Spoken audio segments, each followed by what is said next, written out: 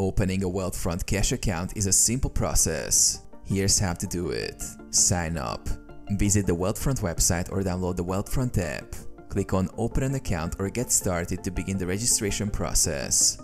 Provide personal information.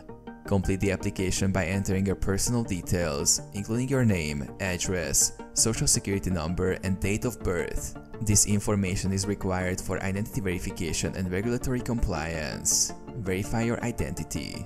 Wealthfront will ask you to upload a government-issued ID, such as a driver's license or passport, and provide additional details to verify your identity. This ensures the security and legitimacy of the account.